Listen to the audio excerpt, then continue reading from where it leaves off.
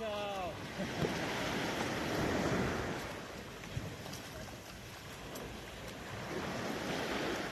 cái quyển này đẹp quá ha. Ừ.